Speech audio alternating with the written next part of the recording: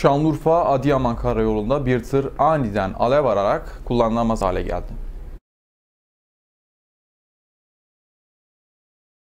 Olay Şanlıurfa Adıyaman Karayolu'nun 50. kilometresindeki Dutluca Kırsal Mahallesi kavşağında meydana geldi.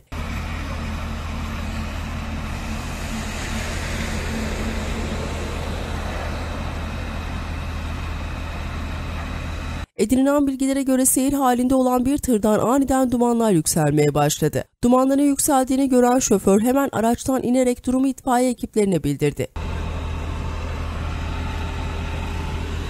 Yükselen dumanlar kısa süre içerisinde yerini alevlere teslim etti.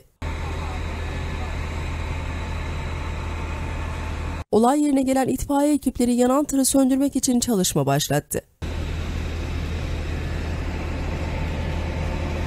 Ekipler uzun uğraşların ardından yangını kontrol altına almayı başardı.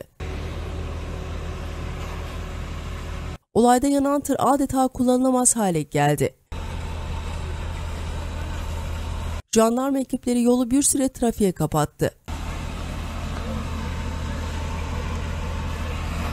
Yanan tır olay yerinden kaldırıldıktan sonra trafik normal seyrinde devam etti.